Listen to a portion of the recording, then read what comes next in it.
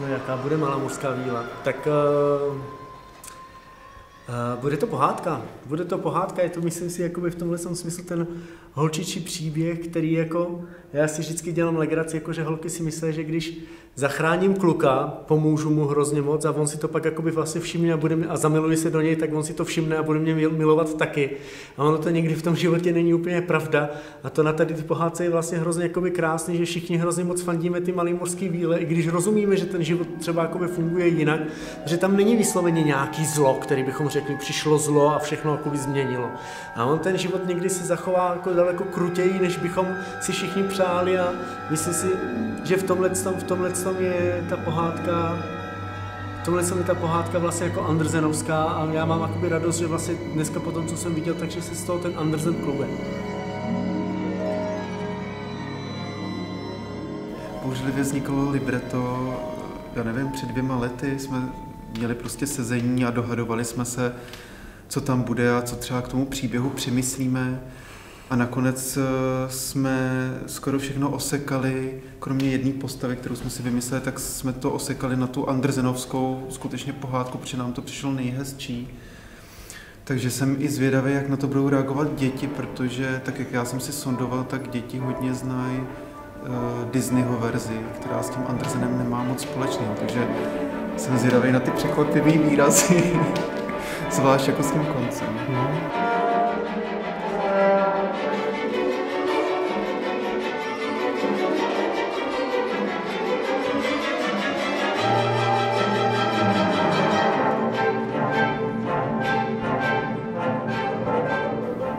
To vznikalo, eh, to už je asi skoro dva roky, kdy jsme začali eh, já, Lukáš Trpišovský a Martin Kukučka, vlastně jsme se takhle ve třech sešli a eh, dá se říct, že jsme ho tak společnýma silama pomalu tvořili u Martina doma postupně, krok po kroku jsme prostě dávali dohromady scény, které budou nosní pro balet.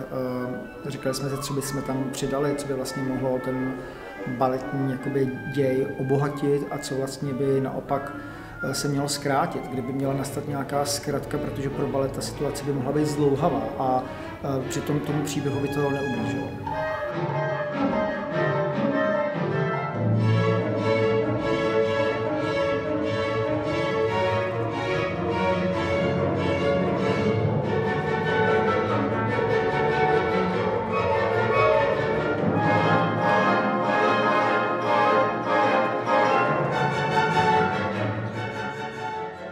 Myslím, že když je autor uh, libreta zároveň autorem choreografie, tak by to teoreticky neměl být problém. Tak si myslím, že to uh, je něco, co je vlastně ideál.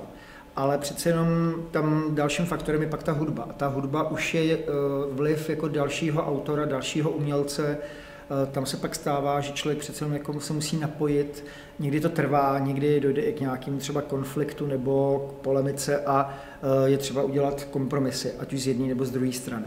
Já se snažím do vlastního libreta moc nezasahovat, aby, aby kluci měli volnost a zase, zase jsem rád, když oni mě potom, když mi předají libreto, když eh, mě dají volnost, abych mohl komponovat úplně svobodně, inspirován libretem, podle libreta nebo časového scénáře.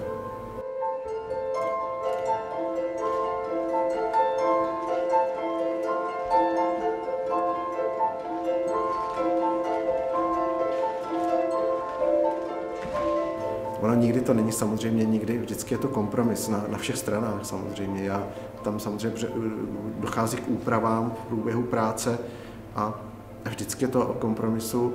Jde o to, aby člověk nemusel, nemusel slevovat z nějakých uměleckých požadavků, aby ten kompromis byl v tom, že třeba někde, zkrát, že někde zkrátíme třeba, tak ano, s tím souhlasím, že můžeme jednu část klidně vynechat, ale aby, aby ten celek zůstal logický, aby, ten, aby ta tektonika, kterou si člověk jako vymyslel, aby, aby všechny principy identity, kontrastu fungovaly, aby prostě i posluchač z toho měl, respektive potažmo divák, aby z toho měl nějaký pozitivní pocit.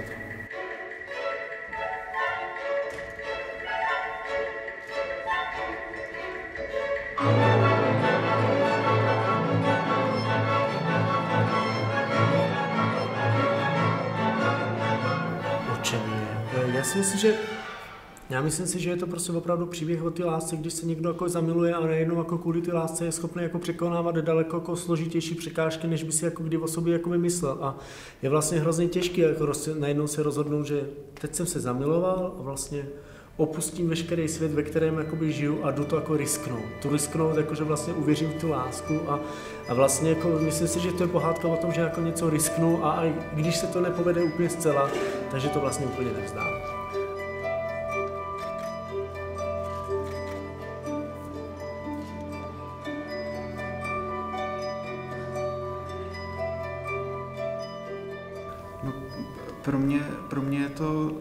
To, co se teď zpětně promítám, když jsem byl malý a četli jsme to na chlupě, jsme měli takový výtisk ještě s cínovým vojáčkem, tak já si pamatuju, jak jsem hrozně prožíval takovou tu nespravedlnost, protože člověk fandí těm hlavním hrdinům, který vlastně přesto, že dělají, jsou, jsou těma kladnýma postavama, tak to s nima dobře nedopadne. A teď zpětně jako si uvědomuji, že na tom ještě zajímavý to, že přestože jako ten svět je nespravedlivý a ty postavy to v určitou chvíli pocítějí, jako ta malá mořská víla, takže je schopná uh, takového toho odpuštění, že jakoby to neskončí, že by proklela prince a řekla nenávidím tě, zemři, ale že mu je schopná odpustit, což si myslím, že jako, jako třeba pro dospělí dneska s tím, co se děje třeba v politice nebo ve společnosti, jak se třeba i radikalizuje prostě tábory pro a proti prezidentovi, tak eh, takový to povznést se nad to a být takový pozitivní a hledat takový to pozitivum, přestože ten život nám přináší něco, co třeba z nám nevyhovuje, tak eh, to teda teď já ocením na té pohádce.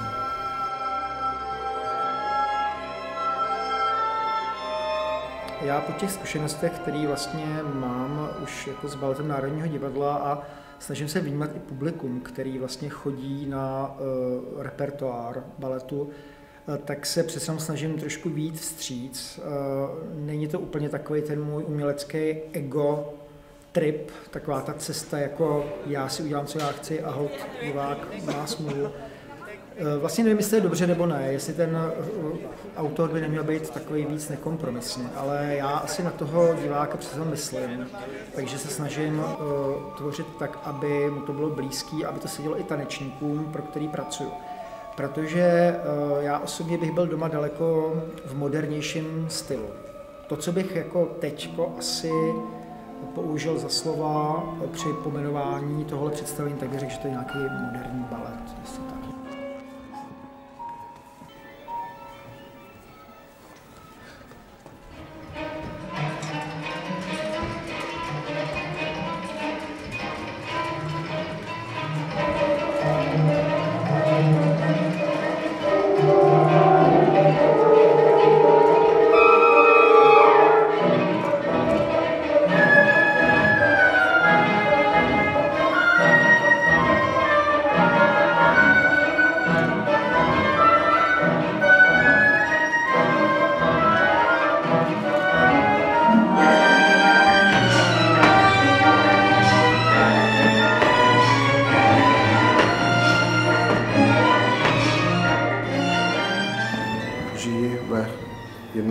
století a snažím se psát eh, soudobou hudbu.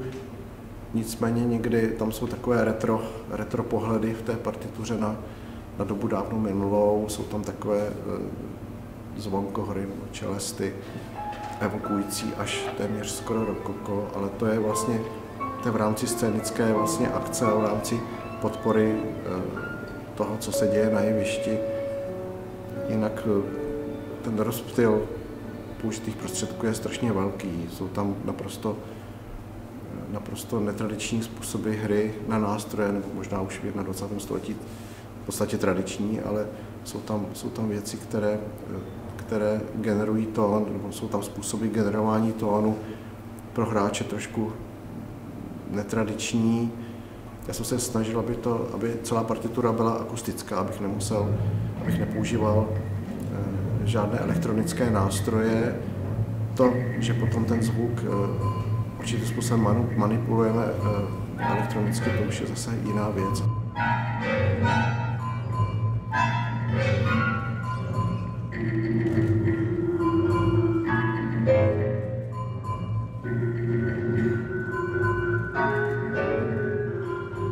Matějů má neuvěřitelný dar.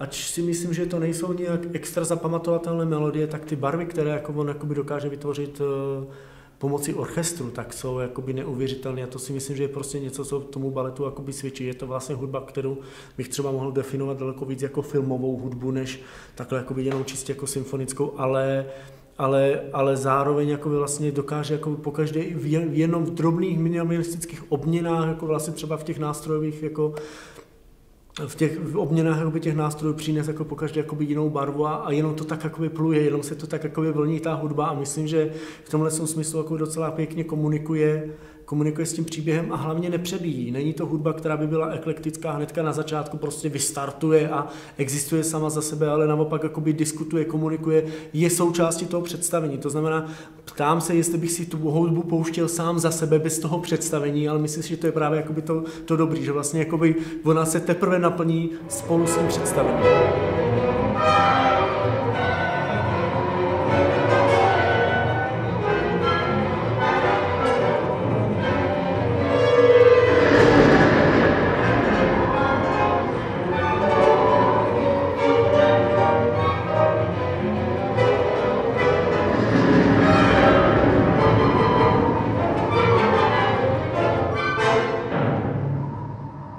Celé to představení vlastně je o malé mořské víle. Ona je opravdu tahoun toho představení, prochází od začátku až do konce. Jí to představení začíná a s ní končí eh, Magda Matějková, která je eh, fantastická tanečnice, je v prvním obsazení jako malá mořská víla. Alina Nanu je úplně stejná úroveň, fantastická tanečnice, skvělá.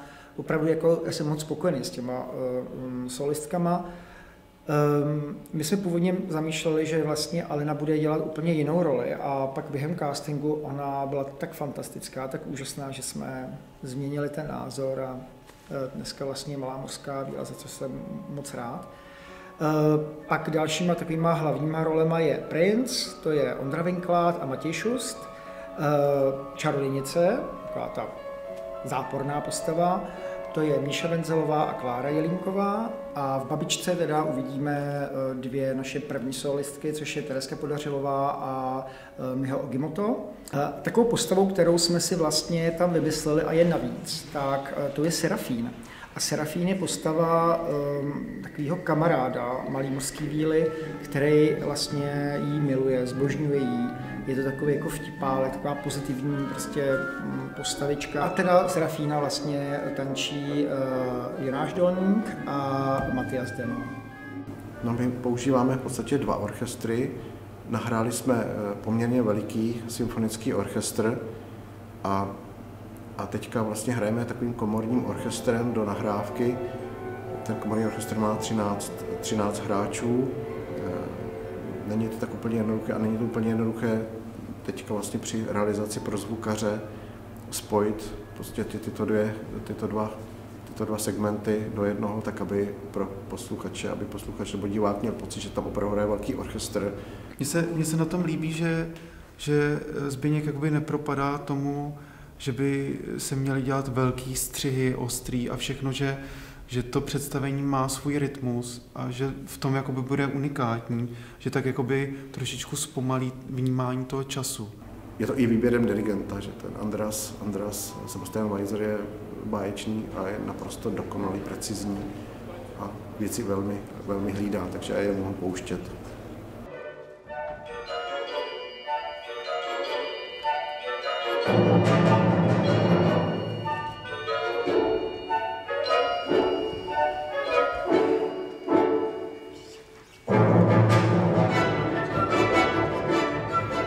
Složka, ať už je to jako scénografie nebo projekce, které jsou použity, ať už je to nově napsaná hudba, což není úplně obvyklé, protože nikdy na to nejsou peníze a že to divadlo k tomuto svolení dalo, která je jako soudobá, že jsou tam prostě udělané kostýmy, které jako by prostě pracují, nikdo jako neimituje tady jako nějaký jako ploutve nebo rybí ocasy, že, že jako je to prostě jako představení jako metafor a náznaků, což si myslím, že není něco, co by bylo nový nebo jiný jako v baletu, ale myslím si, že každá ta složka se snažila jako dotáhnout to do té jako nejlepší možný úrovně jako do těch posledních detailů, který, který jako tam můžou udělat a myslím, že ta synchronicita toho kreativního týmu, i když ještě v dnešní chvíli, ještě v tuhle chvíli po té projížděčce to není dokonalý, ale myslím si, že má ambici na to být jakoby dotažená a to je prostě něco, co bychom byli rádi, aby se vymykalo tím, že jako vlastně se dává tomu představení říct, jako že, že vlastně jako nemá ty mouchy jakoby v tom, že by si řekl, řekl, a tady to někdo odflákl.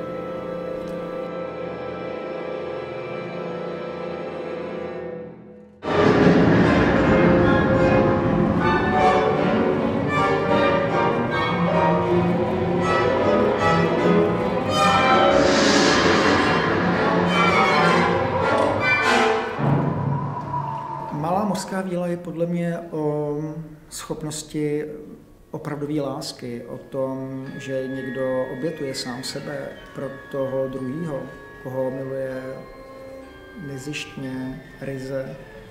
Je to vlastně o touze a vášni, o odvaze, ale myslím, že především o tom, co vlastně to znamená opravdu milovat.